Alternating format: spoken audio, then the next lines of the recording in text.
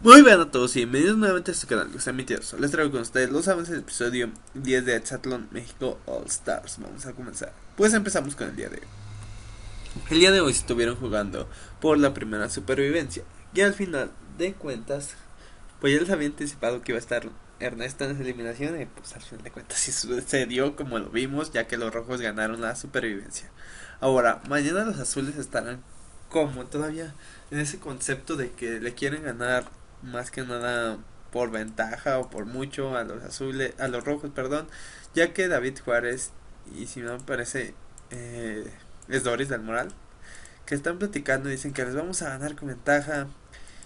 Y pues la producción está como muy mal debido a que como han dejado esta temporada que sea seguida, han tenido muchos problemas los atletas, ya que las lesiones, la salud, o sea, Evelyn tiene que jugar hasta con un pañuelo atado a la cabeza más que nada para poder jugar y que no le entre ellos. Siento que tierra, aire, ya que puede dañar más su salud de su labio, su nariz.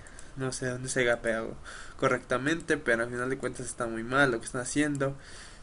También es de que otro azul va a estar, o sea, si pierden mañana, que si van a perder, mandarían otra eliminación a otra azul. No sé si sea Doris, sea Dugan, pero al final de cuentas va una, eh, creo que sí es una de las chicas, me parece que va a ser eliminación, al igual que Ernesto, y faltaría la del domingo que enviaría a otro.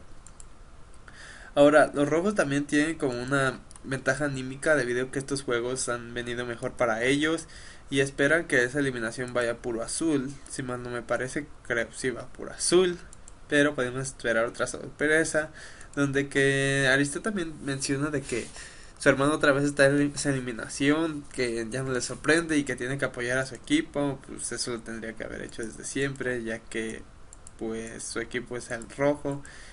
Aunque está como muy eh, centrado en que su hermano es Ernesto, está bien que sean hermanos y todo, pero también tienes tu equipo y tienes que defender a tu equipo. No sé por qué no más anda defendiendo a su hermano. Ya saben, suscríbanse, compartan y denle like.